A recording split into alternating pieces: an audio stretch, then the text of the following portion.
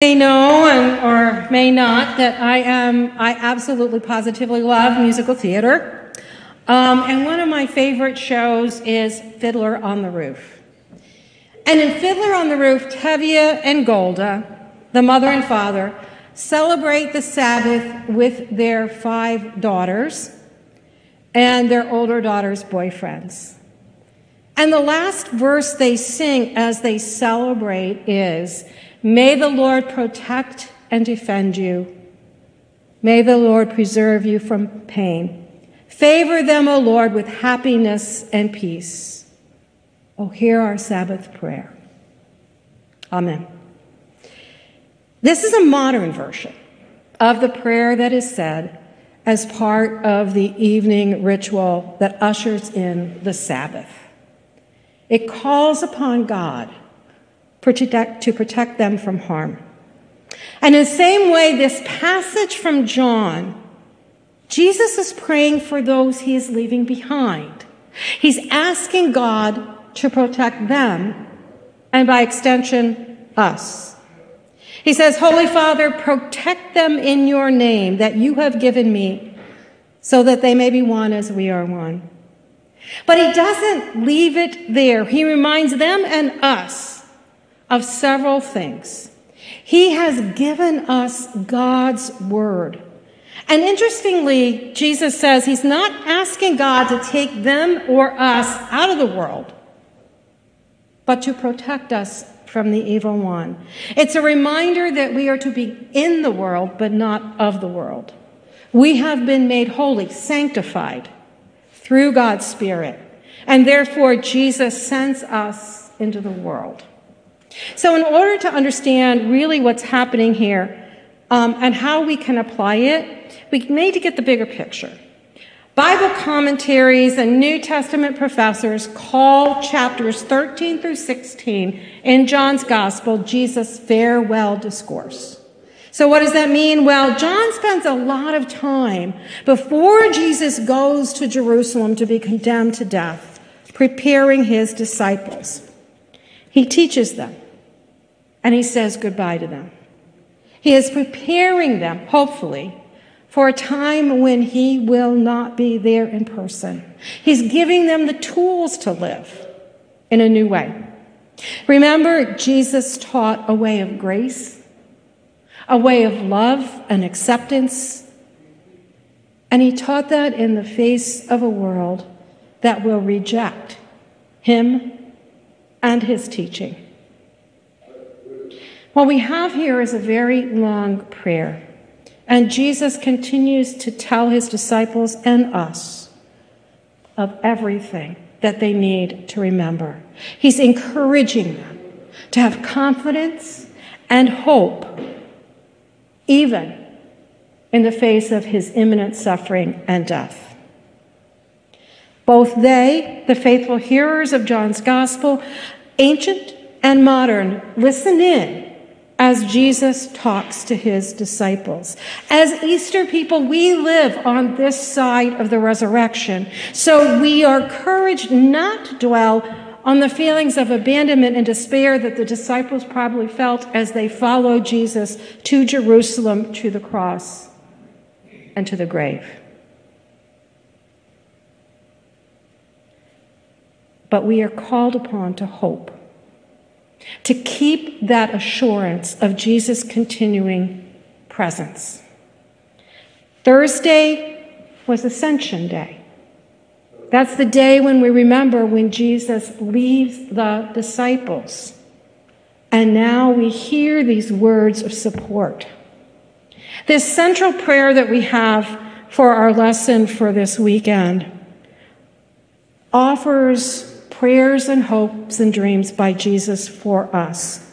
And there were three themes that were outlined in an article in Working Preacher, and I really like them, so I'm kind of using them to kind of sculpt this a little bit. And the themes that they said were present were extravagant giving, knowing that we belong, and sent into the world. Extravagant giving is one of the most important themes that we have in this passage. Now, when we think of giving, what's the first things that come to mind when you're in church?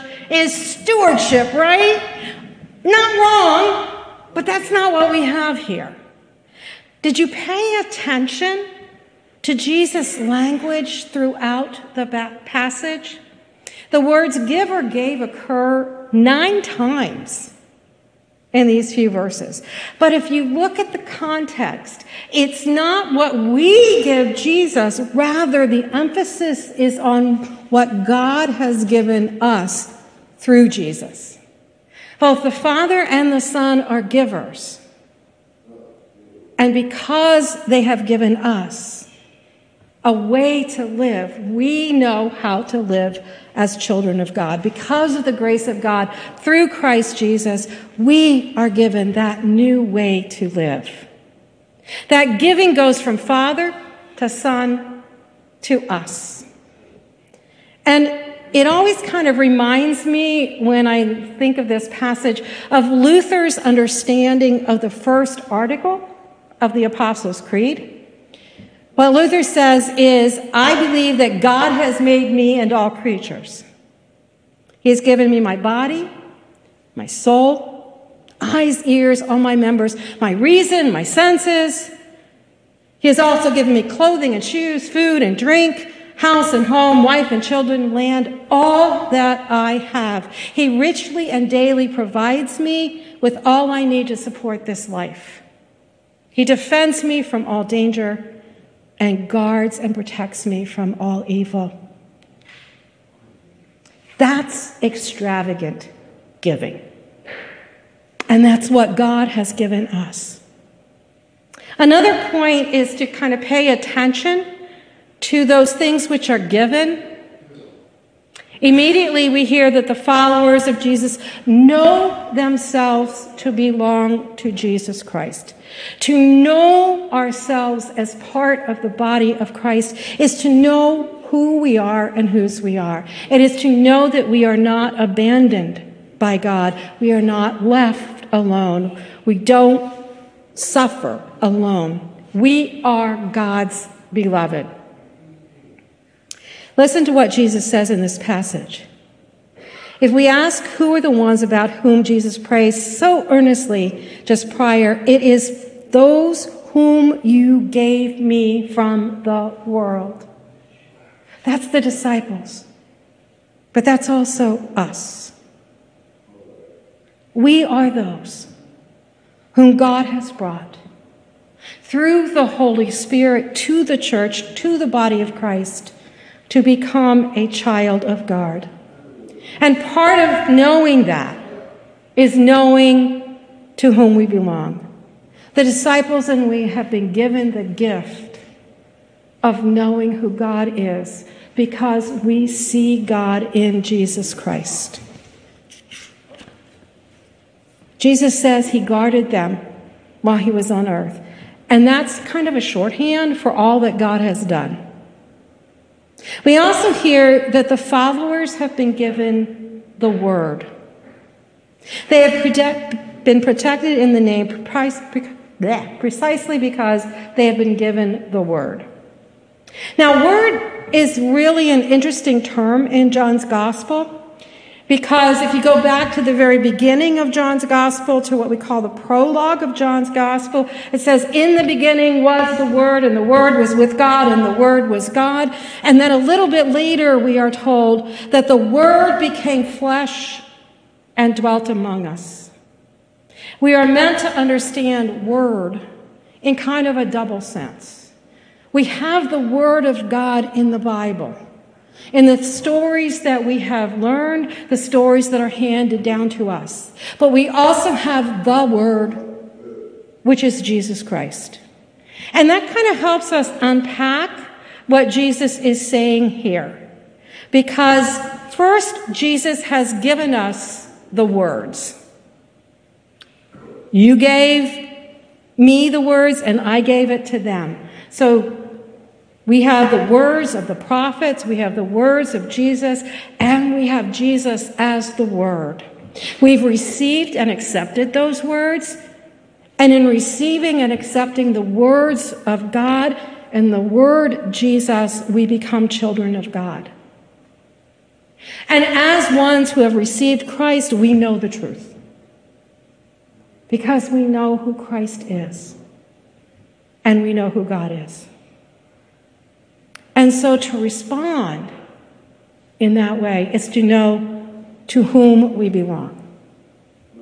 And once we know to whom we belong, because of the Father's name, because of who the Father is and what God has given us in Christ Jesus, we know ourselves to be made holy, to be sanctified. And to be made holy is not to be separate from the world, rather to live in and minister to the world. As you have sent me, so I send them. Jesus is talking about the disciples and us. In spite of the risk, because of the Father's love, we are sent into the world.